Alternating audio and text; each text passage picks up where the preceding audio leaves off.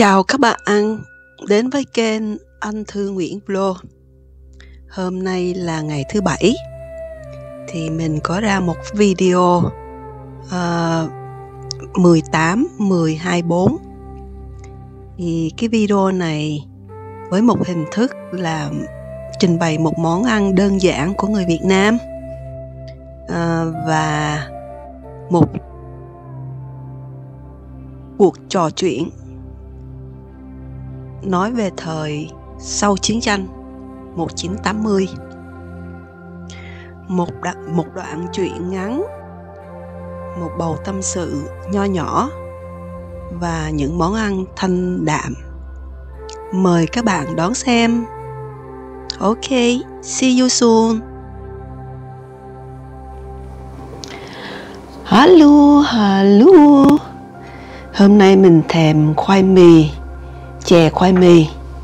À, chè khoai mì nấu với bột bán. Cho nên mình à, um, mua một khúc khoai mì này. Tại vì mình ăn một mình á. Thì cái trước tiên mình khi khoai mì mình mang về á thì mình phải ngâm nước. Tại vì họ bán ngoài tiệm họ để lâu á nó bị khô. Mà khi mình ngâm nước á thì cái cái chất độc chất nhựa nó sẽ chảy ra ngoài. Đấy như các bạn thấy nè. Mình ngâm một đêm thì các bạn thấy nè. Đây cái đốm trắng này nè. Đó cái đốm trắng này nó nó nó nó chảy ra ngoài. Cái đó là cái chất uh, chất độc á. Củ mì củ sắn là đều có hết á. Đây. Đây nè đó. Cái chất độc nó nhả ra ngoài. Đây nữa nè các bạn. Đó nó nhả ra ngoài. Thì xung quanh cái vành nó cũng vậy nè. Các bạn thấy không? Xung quanh cái vành đó là nó nhả chất độc ra đó. Ừ. cho nên mình phải ngâm trước, phải ngâm trước một đêm. Phía sau này cũng vậy nè. Các bạn thấy không? Đó, nó nhả chất ra đó. Thì mình phải ngâm trước một đêm xong rồi mình mới nấu. Đây cũng vậy nè. Đó. Các bạn thấy không? Xung quanh không? Xung quanh những cái đó đó nó trồi ra đó là chất chất độc nó nó nhả ra đó. Đây nè đây nữa nè các bạn. Những cái đốm trắng trắng này nè. Đó đây cũng vậy nè. Đó. Cho nên à, mình phải ngâm trước xong rồi mình mới uh, mới đem ra à, uh, lột vỏ và sử dụng. Mình không có thường ăn ờ, mình không có thường ăn ờ, cái món này đâu. Lâu lâu mình mới ăn một lần. Tại vì mình thấy làm á, nó rất là công phu. Thì đúng ra bản tính làm biến mà mình có cô em gái, thì cô ta rất là giỏi trong vấn đề nấu ăn, món ăn Việt Nam. Mình thì ờ, tại vì lúc ba mình còn sống á, thì ba mình thích ăn mấy cái món ờ, Tây nhiều hơn là món Việt. Cho nên ờ, mình học cách làm món Tây ờ, nhiều hơn để cho mình nấu cho ba mình ăn. Với lại mình rời khỏi Việt Nam á à, lúc mình chỉ có mơ, mới có 16 tuổi thôi coi như là mới học xong lớp 9 thôi. Còn em gái mình á thì à, cô ta um, đi diện bảo lãnh thì cô ta qua sau. Cho nên cô ta học xong lớp 12 thì cô ta mới đi. Cho nên à, cô ta rất là giỏi làm những món ăn Việt Nam. Lâu lâu mình về á à, hồi xưa á à, về nhà gia đình á thì lúc đó hai chị em đều lấy chồng hết rồi. Mà lâu lâu về nhà thì cô ta luôn luôn mang theo món ăn Việt Nam về nhà. Rồi nấu chung cả gia đình ăn còn mình thì mình không có giỏi nấu món ăn Việt Nam á. Cho nên mình chỉ có mua mình tại mình biết ba mình thích um, nhậu uh, lai rai á trước khi ăn cơm. Cho nên với lại ba mình thích ăn thịt bò lắm bò lúc lắc á. Cho nên mình ờ, mua mấy ký thịt bò về. Rồi nhà mình muốn làm chế biến gì thì chế biến. Tại vì thịt bò mà ví dụ như thịt bò lúc lắc á thì mình làm xong mình ăn liền nó mới ngon. Chứ còn mình làm ở nhà rồi mình mang đi á, thì nó đâu có ngon nữa đâu. Cho nên là mình mua thịt ừ, bò mang về. Rồi ba mình làm lên ăn tại chỗ. Bây giờ mình lớn tuổi mình mình già rồi đó. Mình nói lại mấy chuyện xưa á. Sao mình nhớ ba mình dễ sợ luôn bạn? Mẹ mình thì chưa có mất, nhưng mà ba mình thì mất rồi ba mình mất lúc đó. Còn sớm lắm, ba mình mất lúc ba mình về hưu non, được ừ, 3 năm sau thì ba mình qua đời. Như vậy là rất là trẻ đó các bạn. Mình cũng lo lắng là không biết à, số phận mình nó như thế nào. Đây là những cái khúc chót này nè, nó có đường vân này nè. Những cái khúc này ăn nó sơ lắm. Cho nên mình à, sẽ bỏ nó đi. Ở Việt Nam thì uh, mì khoai sắn đậu rất là rẻ. Mà ở đây thì không có rẻ đâu nha các bạn. Cái này là khoai mì này là 39 đồng một ký mình mua ở tiệm Việt Nam á. 39 đồng một ký tức là 3 3 đô rưỡi một ký. Mình không biết là cái giá ờ, ở bên Mỹ như thế nào. Nhưng mà ở đây là khoai mì là 3 à, 3 đô 3 đô rưỡi một ký.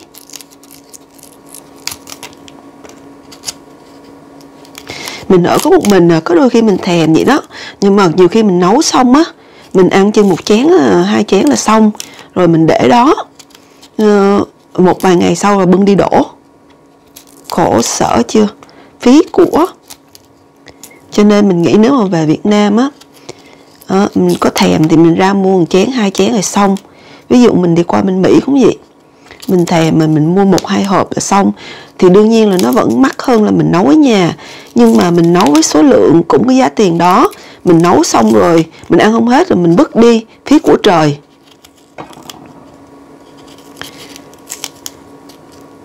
Hồi ở Thái Lan á, nó cũng có những món chè rất là ngon. Mình cũng thích đi Thái Lan lắm. Nhưng mà mình bị à, hồi cách đây 2 năm mình có đi qua Thái Lan xong mới về Việt Nam. Nhưng mà mình bị bên tuổi Thái Lan nó lừa. Nó lừa mình mua mỹ phẩm á. Cũng là loại mỹ phẩm đó nhưng mà nó bán một cái giá khác. Nó biết mình người ngoại quốc á. Nó bán một cái giá khác. Hồi xưa á thấy người Thái Lan á rất là thật thà không có lừa đảo đâu. Nhưng mà dạo sau này á bây giờ có nhiều uh, dân ngoại quốc nó nó qua bên đó lắm. Nó lấy vợ ở Thái Lan á rồi nó ở bên đó dân ngoại quốc này mình ý mình nói là dân uh, phía bên uh, uh, châu Âu này nè. Uh, nó qua đó nó lấy vợ uh, vợ Thái rồi nó ở đó luôn. Rồi nó nó xây sự nghiệp hàng hóa gì bên đó đó. Nó ở đó. Cho nên nó mang cái tính lừa đảo uh, qua bên Thái Lan. Chứ người Thái Lan á họ rất là thật thà. Thì mình cứ nghĩ là như vậy. Nhưng mà khi mình bị lừa rồi mình về tới nhà rồi mình mới nghĩ là mình bị lừa là cái tụ cái thằng mà nó bán hàng cho mình á nó không phải là người Thái Lan. Nó lấy vợ Thái Lan. Nó là người uh, uh, Hy Lạp hay gì đó. Uh, Hy Lạp Turkish gì đó. Uh, uh, nó qua đó nó ở. Cho nên nó mang theo cái bản tính lừa đảo của nó qua bên đó. Chứ người Thái Lan thì họ rất là thật thà. Mình bị dụ mua mỹ phẩm hết tất cả nguyên một cái combo là uh, 60, 6 70 ngàn tiền Na là nghĩa là 6 7 ngàn đô á phung phí lắm. Nhưng mà mình về mình dùng á đâu có thật như lời nó nói đâu. Cho nên mình nghĩ là uh, Thái Lan bây giờ không có giống như Thái Lan ngày xưa đâu. Phải cẩn thận phải rất là cẩn thận. Đó, sau cái vụ đó rồi mình không có muốn đi Thái Lan nữa mà mình có đi nữa thì mình cũng không có ừ, tới Ba Thầy á. Mình người ta cũng cảnh cáo mình rồi người ta nói là ở Ba Thầy đó là không có tốt. Mình chỉ biết là không có tốt là như là là có nhiều gái điếm rồi thôi. Nhưng mà mình không có nghĩ rằng là uh, nó lừa đảo mình như vậy. Nhưng mà sau cái vụ đó rồi mình không có thích um, đi Thái Lan nữa. Mà nhất là về Ba Thầy á nhưng mình không có thích nữa đó là nguyên do mà mình uh, chuyến đi này mình đổi hướng. Mình đi uh, Nhật Bản. Mình đi Nhật Bản xong rồi mình ghé về Việt Nam. Tại mấy lần trước mình cũng đi vậy. Mình đi Thái Lan. Mình đi Thái Lan xong rồi mình uh, mình ghé Việt Nam. Nhưng mà bây giờ thì mình đi Nhật Bản xong rồi mình ghé Việt Nam. Tự vì lý do tại sao mình đi Nhật Bản lần này là năm 1980 là gia đình mình đi vượt biên. Bố mẹ mình với hai đứa hai người em trai với mình là đi vượt biên. Thì gia đình nhà mình để lại um, uh, một cô em với lại một cậu uh, em trai ở lại với bà nội. Tại vì gia đình mình sợ rằng là nếu có chuyện gì xảy ra thì à, cũng còn lại à, hai hai người con trong gia đình. Ừ. tự vì ba mình á à, là con con trai một. Ngoài ra thì ừ, bên nội mình thì cũng còn um, một hai một chị gái với một người em gái. Mà người chị gái thì ở Việt Nam chị của ba mình á. Ờ, rồi một người em gái của ba mình thì ở bên Mỹ thì đối với phía bên nội mình á, thì chỉ có ba mình là con con trai độc. Thì ừ, con trai một á, thì coi như là nếu mà chuyện gì xảy ra á, thì ừ, cũng còn một người em trai. Đó. Nhưng mà, cho nên đó là lý do mà tại sao cả gia đình không đi. Uh, vượt biên cùng một lúc mà có người đi và có người ở lại. Đó là nguyên do như vậy. Thì khi gia đình mình đi vượt biên á thì mình cũng được dạ, tàu của mình chuyến tàu mà mình đi vượt biên đó cũng được may mắn. May mắn là uh, chỉ có trong vòng 12 tiếng đồng hồ là tàu vượt biên của mình á trên chiếc tàu đó có 70 người. Mình không nhớ là 70 hay 75 người. Chỉ trong vòng 12 tiếng thì tàu của mình gặp được uh, um, tàu Na Uy đó là lý do mà mình được đến Na Uy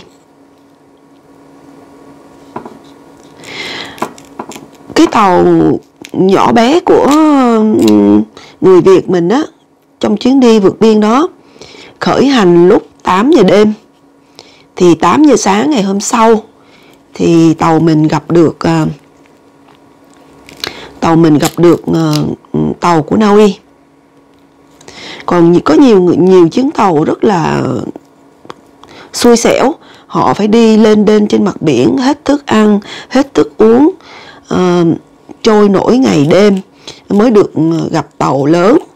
Nhưng mà ngày hôm đó đó là trong cái xuôi có cái hên. Khi mình ra biển á tàu mình ra biển á thì gặp một cơn sóng lớn. Đêm đó mưa sóng lớn lắm. Thì chiếc tàu Na Uy đó đó mới đi sát vịnh để mà tránh uh, bão thì vô tình thì đêm đó thì chiếc tàu nhỏ của người Việt Nam mình tàu vượt biên này nè bắt đầu ra khơi. Nhờ vậy mà ừ, mình được tàu lớn tàu Na Uy đó vớt lên. Thì khi chiếc tàu Na Uy đó vớt lên chiếc tàu đó trên đường đi đến à, đi đến uh, châu Á thì họ không có thể uh, mang theo những người vượt biên đoàn người vượt biên bảy mươi mấy người này nè ở trên tàu. Thì trên đường đi về châu Á thì chiếc tàu này mới xin phép uh, cho những người tị nạn này uh, lên đất liền. Thì đất liền đó là đất Nhật. Cho nên mình được lên đất Nhật. Cả gia đình và nguyên bảy mươi mấy người đó được ừ, uh, tạm trú ở Nhật Bản. Và gia đình mình tạm trú đó, ở đó tổng tất cả những ngày tháng ở đó là 2 năm. Lý do tại sao ở đó lâu 2 năm là vì gia đình mình chờ diện bảo lãnh đi sang Mỹ. Bởi vì mình có như nãy mình nói đó là bên phía nội mình á là có một người cô là em của ba mình ở bên Mỹ nên là chờ cái diện đi đi Mỹ. Nhưng mà thủ tục giấy tờ rất là lâu cho nên gia đình mình quyết định à, đi Na Uy mẹ mình quyết định đi Na Uy mà ba mình thì thật sự lúc đó ba mình muốn đi Mỹ nhiều hơn. Nhưng mà cái lý do mà phái đoàn uh, bên uh, Nhật á đưa ra cũng đúng, nên mẹ mình quyết định đi Na Uy chứ không có chờ nữa mà ba mình thì muốn chờ để đi Mỹ. Tại vì ba mình có cô em gái bên Mỹ mà.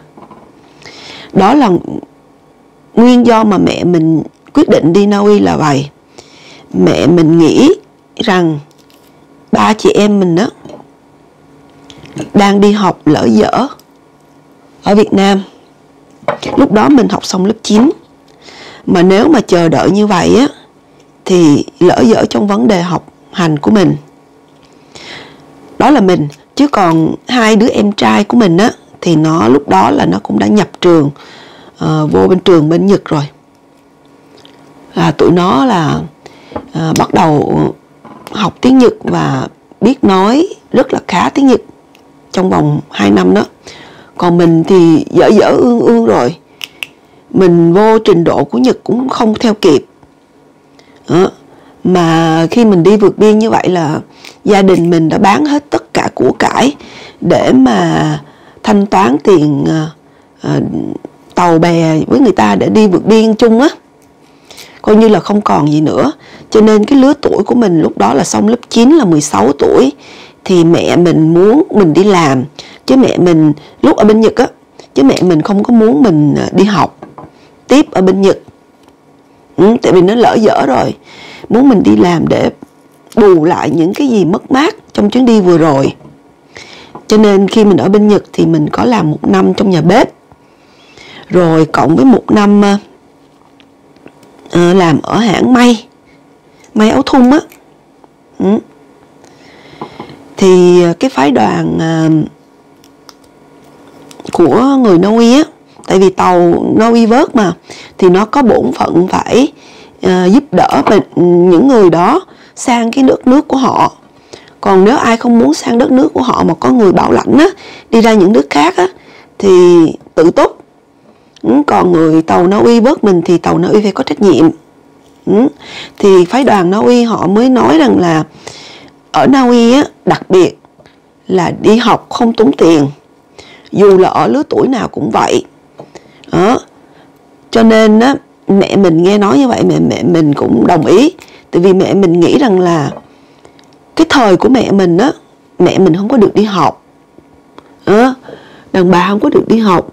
Chỉ có là đàn ông con trai á, là được chú tâm về vấn đề học vấn. Mẹ mình không có được học cao. Mà bây giờ phái đoàn Na Uy nói rằng là ở Na Uy đi học không tốn tiền. Cho nên mẹ mình rất là thích là lý do là mình sẽ được tiếp tục đi học. Vì hai đứa con em trai mình thì ở Nhật thì nó đã đi học rồi. Nhưng mà mình thì lỡ cỡ lương ương, không có thể đi đi học tiếng Nhật được. Bây giờ chỉ có đi làm thôi. Đó, thì cái cái cái giải thuyết đó ờ, rất là hợp lý cho mẹ mình, trúng cái tâm lý của mẹ mình. Đó, cho nên mẹ mình quyết định là đi Na Uy đó đó là nguyên do mà tại sao gia đình mình không ở Nhật mà lại đi đến Na Uy. Thì không biết bây giờ mẹ mình có hối hận hay không thì mình không biết. Vào thời điểm mà hai năm ở Nhật á, thì mẹ mình làm trong một cái siêu thị. Đó, thì làm trong cái siêu thị bán thức ăn á. Không phải là bán thức ăn mà làm sẵn mà mẹ mình bán trong cái hàng trái hàng trái cây rau quả là mẹ mình chỉ có những bổn phận là rửa sạch rau quả rồi cho vô trong hộp rồi bọc lại rồi đưa ra quầy siêu thị cho người ta bán á. Ừ. còn ba mình á, thì làm trong cái hãng uh, gà hãng chăn nuôi gà. Rất là lớn. Thì coi như nếu mà ở lại á thì cuộc sống gia đình mình cũng ổn định. Bởi vì ba mình cũng có việc làm nè má mình cũng có việc làm rồi nè. Đó. Nhưng mà má mình nó lại nghĩ tới tương lai của mình là cho mình được đi học. Cho nên mẹ bố mẹ mình quyết định rằng là đi uh, đi Na Uy đồng thời á mẹ mình cũng thông báo cho cậu mình cậu mình nghĩa là anh của ba mình anh của mẹ mình ở Việt Nam á là bây giờ người ta cho mình đi Na Uy thì cậu nghĩ sao? Thì cậu mình á hồi xưa á lúc mà, mà đến tuổi mà phải đi lính á thì bà ngoại mình á mới đưa cậu mình đi um, không phải là đi du học mà là đi um, đi theo bộ đội á. Mình quên cái chữ đó rồi là đi cái gì rồi. Thì ờ, thời gian đó là mẹ mình với cậu mình á không có gặp nhau bởi vì cậu mình đi bộ đội. Đi ra bắc đi bộ đội. Chức vụ của cậu mình á, là triết lý gia, là dạy cho đảng viên. Khi vào nam á, thì cậu mình à, vẫn tiếp tục với cái ngành nghề đó. Lý do là cậu mình được làm cái ngành nghề đó là cậu mình có học, có trình độ học vấn. Cậu mình đi ra bắc thì uh, cậu mình tiếp tục học ở ngoài đó. Thì bà ngoại của mình tiếp tế lương thực tiền bạc để cho cậu mình học thành tài. Nhưng mà thời buổi chiến tranh mà cậu mình cũng bị đưa đi uh, đi nghĩa vụ quân sự á. Thì cậu mình bị một phát đạn xuyên qua uh, bụng thì sau cái lần đó thì cậu mình không có cần giải ngũ không có cần phải đi đi ra chiến trường nữa. Thì cậu mình mới được làm cái nghề như mình đã nói, là triết lý gia, dạy cho đảng viên, huấn luyện đảng viên. Thì mẹ mình có thông báo là người ta cho mình đi Na Uy. Cậu nghĩ sao? Thì lúc đó gia đình mình đâu có biết lúc thời đó gia mình mình đâu có biết Na Uy là cái nước nào đâu Na Uy là như thế nào đâu. Thì cậu mình mới mới viết thơ trả lời cho mẹ mình à, từ Sài Gòn qua Nhật Bản. Cậu mình nói là nên đi Na Uy đi. Bởi vì Na Uy là nước chủ nghĩa cộng sản cũng là một nước chủ nghĩa cộng sản nhưng mà trong giới tự do ừ, nó nó nó khá nó, nó hay và nó khá mình không có rành về chính trị đâu nha. Cậu mình thì thuộc mình đã nói rồi cậu mình là triết lý gia dạy cho đảng viên có nghĩa là cậu mình uh, trong uh, trong ngành uh, um, chính trị đó. Đó thì cậu mình mới khuyên mẹ mình là uh, gia đình mình là nên đi Na Uy tại vì Na Uy là một nước cộng sản. Đó, tự do. Thì nếu, và nước Na Uy có làm việc chung với lại ừ, Việt Nam, thì nên đi Na Uy. Thì nếu sau này có muốn về Việt Nam trở lại Việt Nam cũng dễ hơn là lựa đi Mỹ. Tại lúc đó là năm 1982 ờ, tại mình ở ở Na Uy ừ, ở bên Nhật 2 năm mà. Lúc đó là năm 1982 thì Việt Nam với lại Mỹ cũng chưa có làm việc chung với nhau đâu nha. Nhưng mà vào thời đó, đó là Việt Nam với Na Uy đã làm việc chung với nhau rồi. Đó, tự vì trong thời chiến tranh mà uh, Na Uy với Việt Nam có làm việc với nhau trước chiến tranh mà ở ngoài Hà Nội chứ chưa vô tới Sài Gòn. Tại lúc đó là Việt Nam mình chia hai miền Nam Bắc. Nhưng mà khi giải phóng rồi thì đương nhiên là uh, Na Uy thì ừ, có uh, tòa đại sứ Na Uy ở Sài Gòn. Đó cho nên cậu mình mới khuyên rằng là nên đi Na Uy. Tại vì Na Uy và Việt Nam có giao dịch với nhau. Nếu sau này mà có muốn về Việt Nam á, thì vẫn còn dễ dàng hơn là đi Mỹ. Đó. Nhưng mà sau này thì Mỹ với Việt Nam có làm việc chung với nhau rồi thì sau này thì người Mỹ thì mình có ở Mỹ mình vẫn về Việt Nam được. Nhưng mà mình nói là mình nói vào cái thời điểm đó đó, đó. cho nên bố mẹ mình thấy có lý cho nên bố mẹ mình lựa chọn là đi Na Uy ừ. mình bây giờ mình ờ, lớn già rồi thì mình thấy hối hận là tại sao bố mẹ mình không lựa đi Nhật ừ. đối với mình thì mình thích Nhật hơn Na Uy đó. mình thấy Na Uy ở Na Uy này ờ, có nhiều điểm mình không thích và có nhiều điểm mình thích nhưng mà bây giờ thì mình không nói về Na Uy mình nói về Nhật Bản tại vì mình sẽ sắp sửa có chuyến đi Nhật Bản. Ừ. cho nên mình mới kể lai lịch là lý do gì mà mình đi Nhật Bản. Thì từ năm 1982 gia đình mình đi đến uh, um, đâu đến giờ mình chưa có trở lại Nhật Bản. Mình đã có uh, đi Korea. Ờ, uh, Sơ Korea chứ không phải là Nu Korea ờ, bốn uh, lần rồi lý do mình đến Korea là vào thời điểm ờ, năm 1210 tới năm 1212 thì mình có uh, người yêu người yêu của mình là anh chàng người Na Uy uh, là Sylvie Engineer uh, elect, Electro. Uh, anh ta làm việc ở Singapore. Thì anh ta có mời mình tới Singapore chơi hai lần thì mình có nói với anh ta rằng là uh, trong thời điểm khó tìm việc làm này nếu mà anh ta xin được um, công việc ừ, lúc đó anh ta làm ở Korea. Uh, thì uh, cho nên anh ta có mời mình uh, đi tới Korea. Và mình có tới Korea 4 lần và trong lúc mình tới Korea thì mình có nói là trong thời điểm làm việc uh, tìm việc khó khăn này nếu mà anh xin được việc làm ở Singapore tại Singapore với Việt Nam mình nó gần hơn là Korea với Việt Nam. Mà ở Korea thì nó lạnh còn ở Singapore thì cái khí hậu nó gần giống như Việt Nam. Thì mình mới nói là nếu mà anh ta xin được việc làm ở Singapore thì mình sẽ theo anh ta qua Singapore sống. Còn nếu mà anh ta làm ở Korea thì mình vẫn Ờ, muốn ở Na Uy chứ mình không có muốn đi theo anh ta qua Korea. Thì anh ta mới xin được việc làm ở Singapore.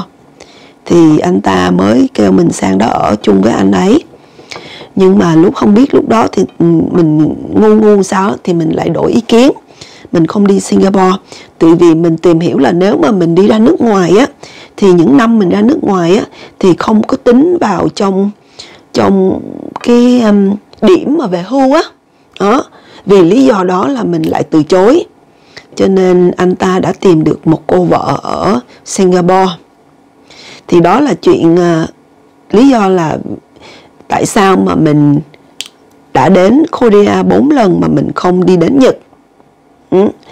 thì bây giờ mình lớn tuổi rồi, mình nghĩ là vào một cái thời điểm bắt nguồn là mình ở Nhật trước khi mình qua Na Uy thì bây giờ mình già rồi, sẽ có ngày mình rất là mệt mỏi, mình đi chơi xa không được. Cho nên mình quyết định là mình đi Nhật một chuyến. Rồi về Việt Nam sau. Mà cái thời điểm mình lựa chọn đi Nhật này á, thì nó lại là mùa đông. Mà mùa đông bên Nhật á, cũng lạnh như là mùa đông ở Na Uy thì đâu có gì thú vị nữa đâu. Mình đã đang ở một nước lạnh.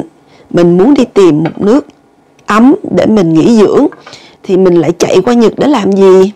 Có tìm được cái gì đâu đó là chỉ kỷ niệm mình muốn tới Nhật thôi. Chứ còn nếu mà để nghỉ uh, uh, nghỉ dưỡng thì đâu có nó lạnh lắm mình chui rút ở trong phòng chứ mình đâu có đi có đi ra ngoài thì cũng rất là lạnh mà. Mùa đông ở Nhật á thì cũng chẳng có gì xem ngoài. Nếu mình đi vào mùa Noel thì còn uh, có uh, người ta trưng Noel này nọ chứ còn ngoài ra thì đâu đâu có có gì để xem. Đó cho nên mình mới quyết định là mình mua vé. Cái này là mình đi tự túc nha chứ không mình không có đi qua cái một cái phái đoàn nào hết. Cho nên mình mới quyết định là mình mua vé. Đó, đi từ bay từ Nhật sang Việt Nam. Ừ. đó là lý do như vậy. Thì mình mình đã đi nhiều lần về Việt Nam mà mình đi vào tháng giêng á. Ừ tháng giêng trời bắt đầu vào vào xuân á rồi người Việt mình bắt đầu dọn dẹp nhà cửa sạch sẽ để mà chuẩn bị ăn Tết ừ, Tết ta của mình á ừ, Tết Nguyên Đán á. Ừ, cho nên cái không khí á nó nó rất là ấm cúng khó quên lắm. Nhà nào cũng bắt đầu uh, lau chùi cọ để mà chuẩn bị ăn tết à, rồi người ta cũng bắt đầu đưa cây kiển bắt đầu thôi chứ cũng chưa. Bắt đầu đưa cây kiển đi ra ngoài chợ để bán. Cái không khí nó nó có một cái gì đó nó nó, nó nhộn nhịp vui vẻ. Cái gì cũng vậy các bạn. Khi bắt đầu bữa tiệc á nó là rộn, rộn ràng vui vẻ. Nhưng mà bữa tiệc tàn rồi á để lại những cái những cái bừa bộn á nó không còn nó không còn vui nữa thì tình yêu cũng vậy. Khi mà hai người tìm nhau á, ở đang trong cái thời gian tìm hiểu á nó rất là phấn chấn. Nhưng mà khi mà sống chung lâu năm rồi đó, thì có, chung nhà rồi đó, thì nó có những cuộc xung đột. Thì những ngày tết cũng vậy.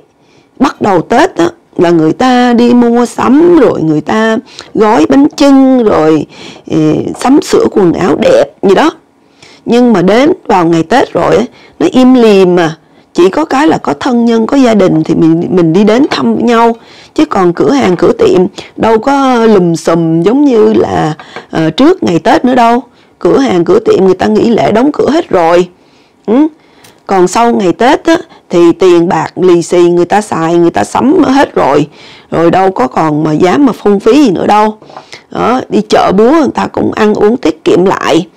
Ừ thì coi như là bữa tiệc đã tàn rồi đó đó là lý do như vậy là lý do là tại sao mình đi trước tết, chứ không có đi vào ngày tết và cũng không đi vào cuối ngày lễ tết ừ. đó là nguyên do là như vậy đó các bạn ừ. thì à, mình đã tâm sự với các bạn những điều mà mình đã trải qua và những sự suy nghĩ của một cái gì không làm được. Không làm được có nghĩa rằng là cha mẹ mình đã lựa chọn đi Naui mà không ở lại Nhật. Mà mình á, lúc đó mình còn nhỏ, mình thì lại thích ở bên Nhật. Mà cha mẹ mình lại quyết định đi Naui. Ừ. nhưng mà Naui cũng có cái tốt và cái xấu. Thì trong thời gian mình ở đây thì mình đã được cái gì? Đó, và mình hối tiếc cái gì? Và những gì sẽ xảy ra cho mình khi mình um, về già? Thì bây giờ mình cũng già rồi nhưng mà ý mình nói là mình sẽ già hơn nữa đó là mình về hưu á. Ừ. thì những cái chuyện kế tới kế tiếp thì mình sẽ kể trong những cái lần mình quay video tiếp theo nha các bạn. Đây thì bây giờ mình cũng đã ờ, cắt xong rồi đó thì mình sẽ um, nấu chè. Trước tiên là mình phải luộc. Nhưng mà mình luộc xong á thì mình sẽ đổ cái nước đó đi. Mình không có dùng cái nước luộc này. Bởi vì bà ngoại mình có kể đó có nói là trong cái uh, khoai mì này nè nó có nhiều um, chất độc lắm. Chứ không có phải là uh, hoàn toàn là uh, tốt cho sức khỏe đâu. Rồi mình bắt đầu mới nấu chung với lại uh, mình vớt ra mình nấu chung với uh, nước dừa. Và bột bán thì mình luộc trước xong rồi mình cho vô sau. Ừ.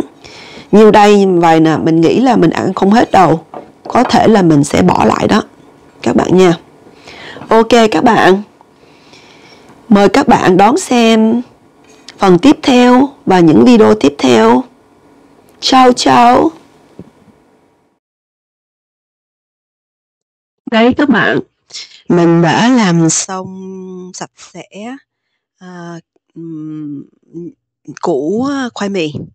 Thì mình đem vô mình rửa rồi mình luộc lên. À, luộc vừa chín thì mình à, đổ cái nước luộc đó đi rồi rửa lại bằng nước lạnh một lần nữa. Xong rồi mình cho vô nồi. À, mình nấu chung với um, à, bột bán mà mình đã ngâm trước à, sau đó thì mình cho nước um, dừa vào nấu chung với đường mía Ừ.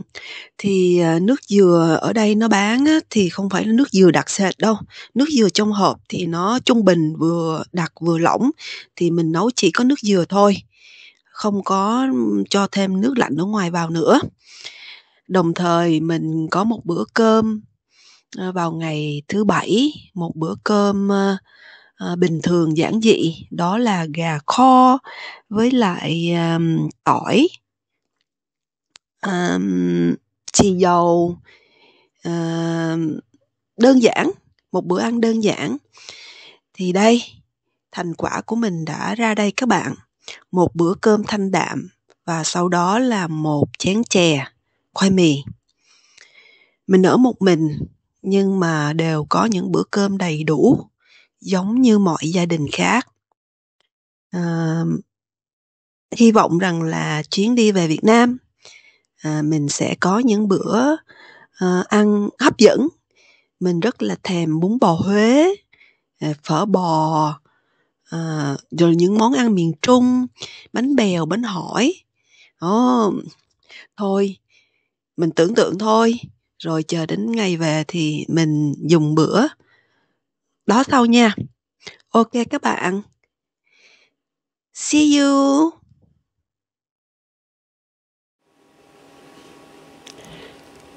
Đấy, một bữa cơm ngày thứ sáu của mình. Mình nói là mình rất thích ăn rau Việt Nam. Rau Việt Nam là có rau tía tô. Mỗi lần mình ăn tía tô đó là mình nhớ đến món ăn bà nội mình hay nấu. À, cái cái gì? Cà pháo tía tô á, dạ, gọi là canh cà bum á. Đó, người Bắc gọi là canh cà bum á. Rất là ngon luôn mà làm ở đây làm gì mua được à, cà pháo đó mà để nấu một nồi canh cà bum. Mà mình cũng chẳng biết nấu làm sao hồi nhỏ mình ăn mình thấy ngon thôi à. Đó rau tươi rau tí tô á với ngò với lại rau thơm. Đấy, mình thèm ổ qua luộc đây mình luộc một ít ổ qua ăn với um, gà kho tỏi ớt rồi một ít ờ, cọng ngò. Kho với lại ờ, terasaki soya sau um, uh, rồi cái um, cái lọ mà để mình ăn phở đó. Đó ba cái thứ đó. Thôi, không có thêm mắm muối đường gì hết, chỉ như vậy thôi. Rồi à, một chén cà ri, súp cà ri, với lại một tô cơm. Một cái tô mà nói cái tô chứ nhiêu đây cơm, chỉ bằng một chén cơm thôi. Nhưng mà mình dùng cái tô này cho nó rộng rãi, để mình dễ bỏ thịt, bỏ rau vô. Đấy là món ăn ngày thứ sáu của mình đây.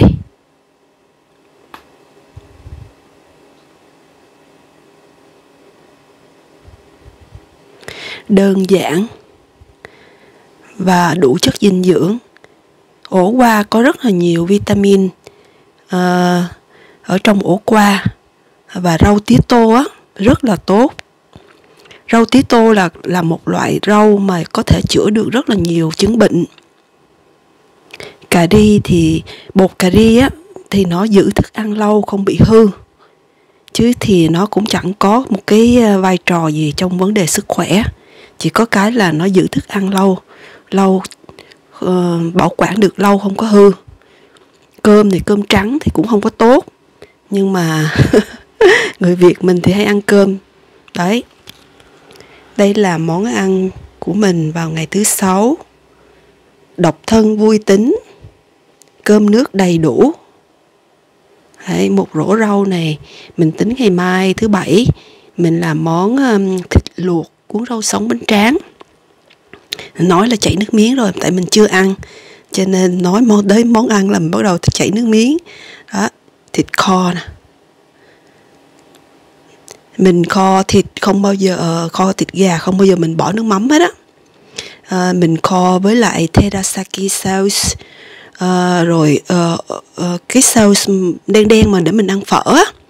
Đó với lại tương gọi là tương đen tương đỏ đó mình nói cho chị đi. Đó rồi xì dầu. Chị thôi mình không có bỏ thêm đường bột ngọt hay là mì chính hay là cái gì hết. Rồi tí rau tí tỏi tí um, tí ngò. Chỉ vậy thôi. Bỏ nước mắm vô nó nó bốc nhãn trong nhà mình á mình ăn như vậy là đủ rồi. Nước mắm thích thì à, thì giả một tô nước mắm rồi để ăn ở riêng ở ngoài. Tùy món mình à, mình uh, uh, cho nước mắm nha không phải món nào mình nấu cũng có cho nước mắm đâu các bạn. Ok bây giờ mình phải ăn thôi. Talk a later. Bye bye.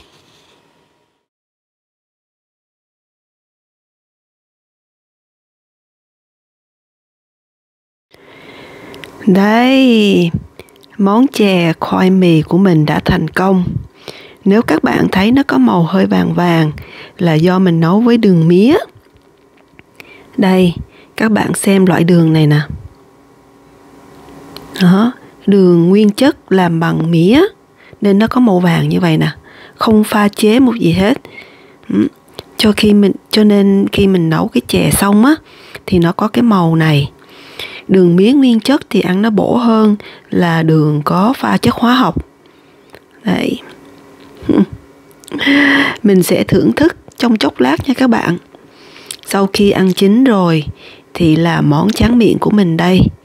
Món tráng miệng của mình là chè khoai mì, nấu với bột bán. Bột bán thì nó nằm ở dưới đáy rồi, nên các bạn không có thấy thì chè bột bán này mình nấu với lại à, đường mía nguyên chất. Nó cứng lắm bạn mình không có cắn được đâu cắn là gãy răng luôn á. Uhm, chịu khó rồi cũng thành công thôi. Món ăn đạm bạc với một chén chè dessert mình nấu còn dư thì tối đến mà thèm thì lấy ra ăn nhưng mà không có ăn cục đường này đâu nha. Đây mình ăn cái chén chè của mình đây. Ok nha các bạn. Cảm ơn các bạn đã đón xem video của mình on thư nguyễn vlog từ đầu đến cuối. Mong các bạn đón xem những video tiếp theo và mình sẽ gặp nhau ở việt nam. Ok, bye bye. See you again.